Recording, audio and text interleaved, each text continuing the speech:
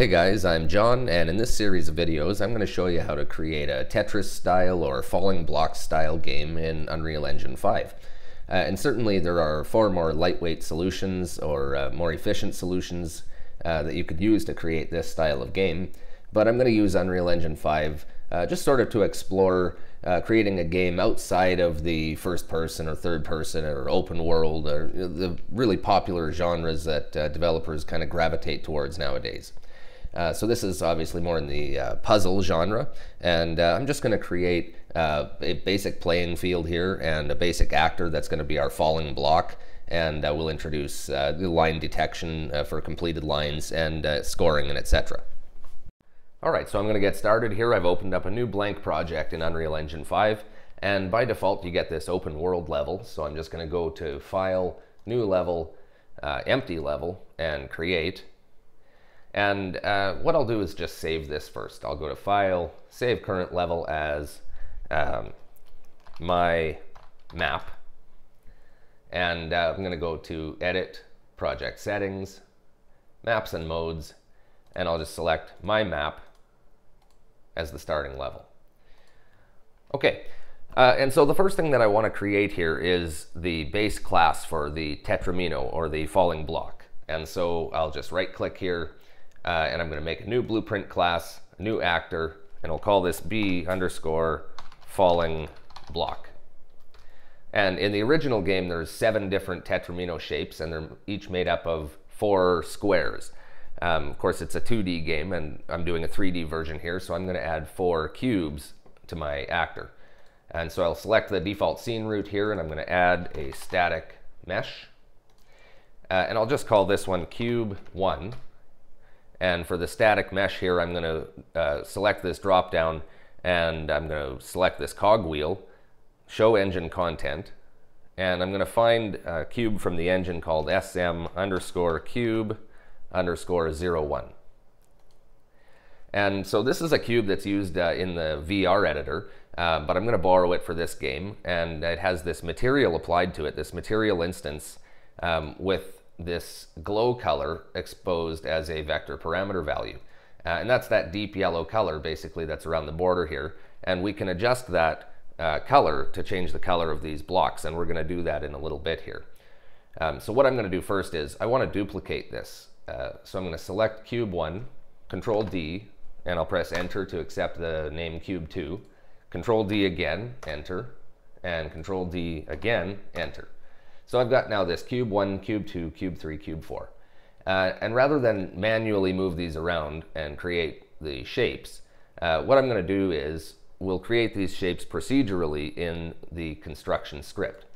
And the construction script uh, works just like the uh, begin play on the event graph, except that you don't have to be playing the game. This will run in the editor. I can run this uh, every time I compile the actor, we'll run the construction script uh, or even dragging it around the scene will run the construction script.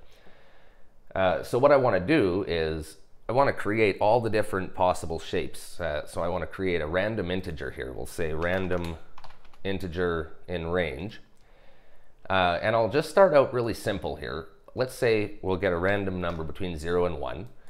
And from the return value here, I'm going to get a switch. And I'll plug this in and I'll add the pins here for 0 and 1. And what I want to do is we're going to move cube 2, 3, and 4. So I'm going to leave cube 1 where it is in the middle here, and we'll adjust the offset here of cube 2, 3, and 4 to make the various shapes. Uh, so I'm going to drag in a reference here for cube 2, and I'll drag off of that and say add local offset. Uh, and then I'll just plug that in here to 0 and I'll use Control D to duplicate that, plug it in, and drag the reference for cube 3 here. And uh, again, I'm going to duplicate the, and then I'm going to duplicate the uh, add local offset node one more time. And uh, I'll drag over the reference for cube 4. Okay, uh, and so now uh, what I'll do is, let's say on uh, zero, we'll create, I'm just gonna comment this and say make line block. So the line block is uh, four blocks or squares in a row. And uh, you could build that out vertically or horizontally. It doesn't really matter. We'll be able to rotate it later. So I'm going to choose um, vertically. And by the way, the cube here that I borrowed from the engine, this SM Cube 01, it happens to have a size of 50 centimeters in each dimension, 50 units. So um, I'm going to go ahead and offset the first, the second cube here will offset in the z-axis by 50. And the third cube will offset in the z-axis by 100, and the fourth cube by 150. And so uh, if I go ahead and compile this, there we go, we can see we've arranged the cubes in the, in the order for the line block. And uh, so what I'll do next here is uh, for, we'll just grab all of these nodes here, and I'm going to go over here and press Control D, and we'll plug these into number one, uh, and I'll just change the comment here and we'll say uh, maybe make L block. And so the L block is actually very similar to the line block. We want to move the first, uh, the second cube up vertically by one, uh, third cube vertically by two, so 50 and 100. And then the last cube, we want to move it horizontally by one. So we'll put this back to zero and set the Y value to 50. All right, so let's check it out here. We'll go to the viewport, compile, and there we've got our L shape. All right, and so uh, what I want to do now, before I make the rest of the shapes here, is I want to add a color component. So I want to change the color of each block based on which shape that it is, just like in the original game. And that maybe makes it easier to uh, quickly identify which block you've got when, when the pace of the game is really fast. Um, or maybe it's just for aesthetic purposes. So I'm just going to make some extra room here. And uh, what I want to do is uh, introduce a new variable. I'm going to add a variable called block color. And I'm going to set the variable type to linear color. And uh, I'll just drag this in here. I'm going to hold Alt while I release to get a set node. And I'm just going to set the color manually here. Um, you know, for let's say uh, the line block, let's say the color could be yellow. All right, uh, and I'll do the same thing here. I'll just grab this node and Control D to duplicate. And for the L block, we'll set the color to maybe red. All right, and so uh, basically I'm just going to go ahead and create the rest of the shapes here. And there are a total of seven. So I'm going to change this to a random integer between 0 and 6. And I'll add the rest of the pins here. Uh, and then I'm just going to go ahead and grab all of these nodes, uh, Control D to duplicate, and uh, Control D to duplicate again. And I need just one more, so I'll grab just a single set of nodes, Control D, all right, and maybe we'll move these nodes more to the center here so it's a bit easier to plug all of these in. Okay, and uh, so the rest of the blocks we need here are the S block, um, the reverse S block, and the T block, and the square block. Uh, so I'll go ahead here and let's make, uh, and we also need the reverse L. So we'll say we'll start with that one, reverse uh, L block. And so it's going to be, we'll go vertically by one, vertically by two, and then horizontally uh, the other way, so minus 50. Uh, and we'll just set this to a new color here. Maybe I'll pick orange. Uh, we'll make sure that's different enough from the yellow and the red. Okay, and uh, next here, we'll say make uh, S block. And for the S block, we'll move uh, one block uh, vertically by one and another block uh, vertically by one and horizontally by one. And uh, another block horizontally by one and vertically by two. And we'll set the color for the S block to maybe pink. And we'll make the reverse uh, S block here.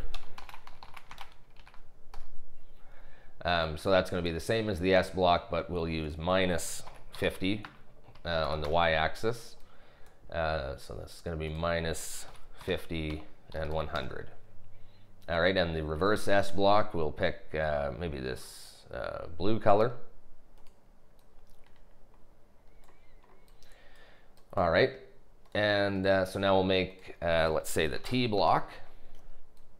So we want to add, uh, let's say we'll use 0 on Z and move uh, horizontally by negative 1. And another one here, 0 on the Z and horizontally uh, by plus 1, so 50. And uh, this one will stay uh, in the center horizontally, but move vertically by 1, so 50. And in the T block, we'll set the color here maybe to this teal. All right, and one left here. We'll make the uh, square block. And uh, for that one, we just need to arrange them in a square. So I'll move uh, the first block, say vertically by one, sure. And uh, the next block will say horizontally by one. And the uh, last block horizontally and vertically by one each. Okay, and for the square block, I'll set the color maybe to green. Uh, now for the color to actually take effect, we need to do one more thing here. I'm just going to drag from uh, one of these nodes and we'll say uh, vector parameter, oops. Uh, let's see here, I want to set vector parameter value on materials, uh, cube 1. I'll select, but I can actually plug all the rest of these cubes in here as well. Cube 2, uh, cube 3, and cube 4. Okay, uh, and I'll just drag these out a little bit here we want to set the parameter name here to glow color. And so that was the, we'll go back to the uh, cube here and take a look at that material real quick again. Glow color is the name of this uh, vector parameter value affecting the outside uh, color. So we're setting glow color and we're going to feed in our block color. Oops, it needs to convert here, so I'll just drag that here, drag that here, and it makes a conversion node for me automatically. Okay, and I just need to plug in the rest of these uh, execution nodes. So uh, no matter which block uh, it creates, afterwards it's going to use that block color that we set and uh, send that to as a new vector parameter to the material.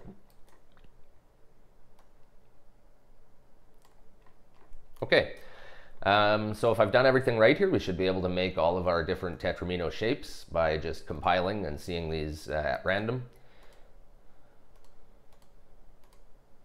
All right. Uh, and uh, yeah, it seems to be working pretty good here. We're seeing all of our different shapes. Um, the other thing I can do is I can drag one of these into my scene here. And uh, even just dragging it around here, we can see we're randomly getting all the, the different shapes.